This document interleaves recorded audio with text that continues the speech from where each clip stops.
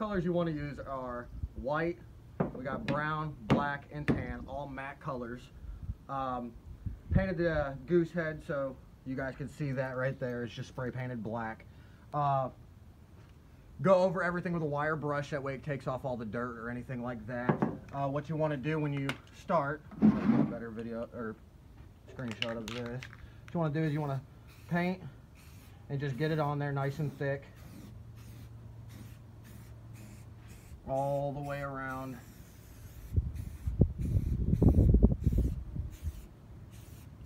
And I always like to go over a little bit, that way it kind of blends in.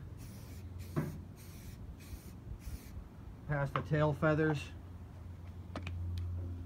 Then what you want to do is you want to take your tan from here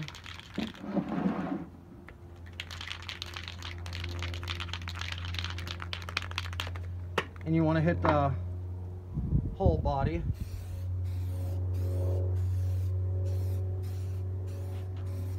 All the way around.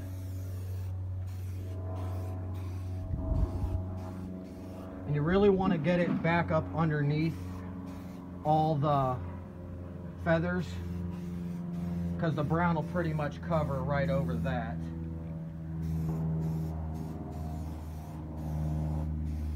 Get it on nice and thick.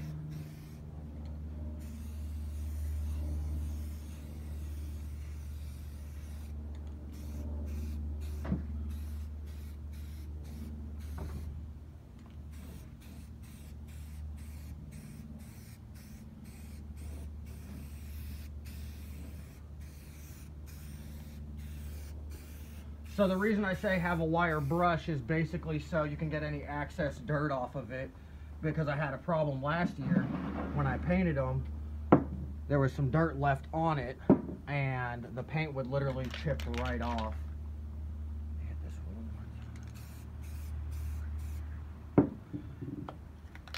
Now what you do, you can wait to let it dry or you can do it all at one time. Here, step around this. Uh, let's see if we get a better shot of this. So what I like to do is I like to kind of make a U shape around it.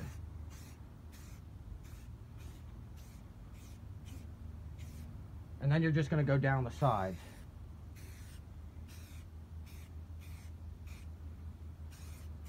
Just hitting the tops of the feathers. All the way to the back.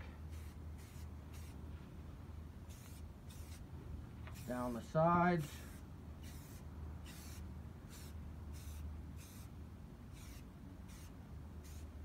You always want to keep it angled away. That way it just hits the top and not the under or the back side of the feathers. What I like to do too is just, you know, ghost it a little bit over the brown.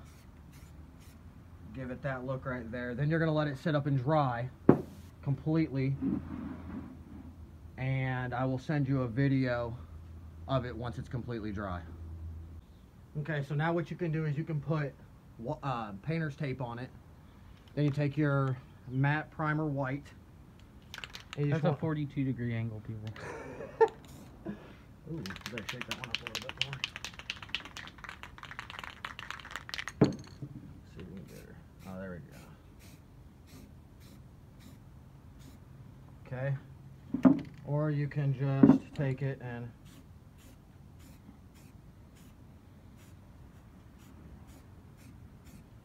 put it on there. Now what I didn't know from my last year's was if you take clear clear uh, sealant and spray it, the paint will hold up a lot better and won't chip and stuff like that when you're moving them in and out of a bag. What I like to do with uh, the decoy heads, I'm not going to set up a brush right now because I don't want to waste one, but you take a foam brush and uh, some acrylic paint and you can just put the little white tag up on here and stuff like that. Some people take gloss paint and paint the eyeballs, but it's really just depends on what you want to do. This took us five minutes to paint. We can roughly paint close to four or five dozen decoys in a day. But uh, paint's really cheap. I think we today bought two of each color. Spent right around 30, 30 bucks on it. These are the ones I did a couple days ago right here And if you notice, if you look at the, the difference in the heads, this one has a little bit of a gloss to it, and this one's kind of a dull, which is what you want. So what you want to do is you just want to hold tan. You just want to hold the tan back and just mist it a little bit to get that shine off of it and it'll dullen up once it dries. And really uh, give it that dull finish. As you can see the white is really you know it's really not that good but as long as they get in close enough for you to shoot them everything will be good with that. These have the matte finish. So basically once I spray my clear my clear coat over the top of it what I like to do is I like to stand back really far and kind of just misted at it to give it that dull look. So if there is any shine in it you know it's not going to flare any geese or anything like that. But uh thank you guys for uh, asking me to send you a video. If you have any other questions let me know. Just shoot me a message on facebook and uh, we'll go from there